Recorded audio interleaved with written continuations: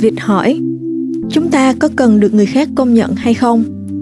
Petruski trả lời, To be is to perceived. Một là, cái không được nhận thức thì không thể nói là tồn tại. Chỉ khi một cái gì đó được nhận thức thì chúng ta mới có thể nói rằng cái đó ở trong thế giới. Hai là, cái được nhận thức là có tồn tại nếu một nhận thức xảy ra thì phải có điều gì đó tồn tại để tạo ra nhận thức đó có thể là nhận thức đó không chính xác, nhưng có điều gì đó tồn tại đã tạo ra nhận thức cụ thể đó.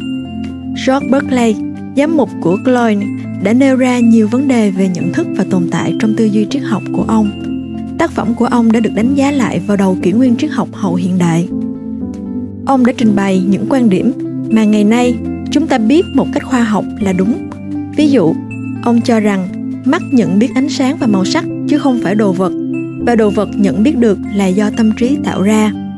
Tuy nhiên, đồng thời, giám mục berkeley cũng chủ trương rằng thiên chúa là nguyên nhân trực tiếp của mọi nhận thức của chúng ta.